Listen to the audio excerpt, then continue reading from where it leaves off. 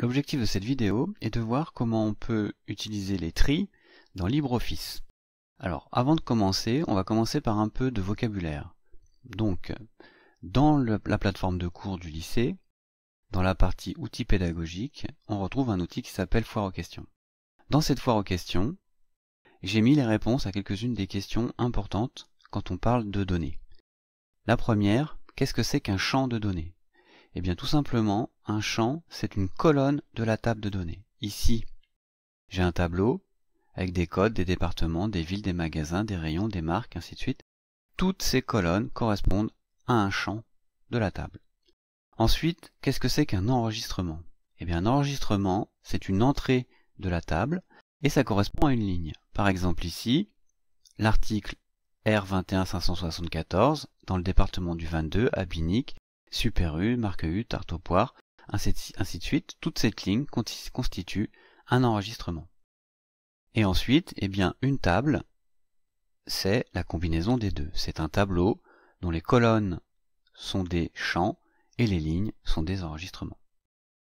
Donc ensuite, si je veux trier une table, eh bien, ça va consister à ranger les lignes, donc les enregistrements, en fonction de critères sur les champs, sur les colonnes. Par exemple, on pourrait ranger dans l'ordre croissant des villes, ou alors dans l'ordre des articles. On peut même faire un ordre un peu plus compliqué qui serait euh, par département, puis par ville, puis par magasin.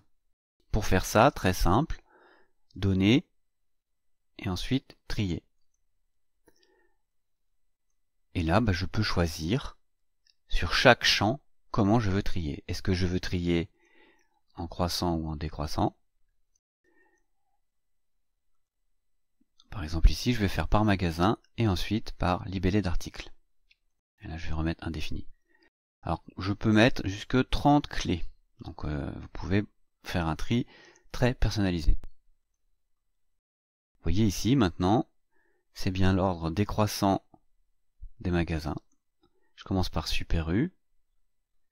Et puis si je descends, je passe à Monoprix, Leclerc, et je finis tout en bas de ma liste avec Auchan.